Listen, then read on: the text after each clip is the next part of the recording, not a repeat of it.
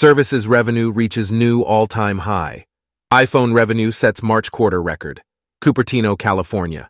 Apple today announced financial results for its fiscal 2023 second quarter, ended April 1, 2023. The company posted quarterly revenue of $94.8 billion, down 3% year over year, and quarterly earnings per diluted share of $1.52, unchanged year over year.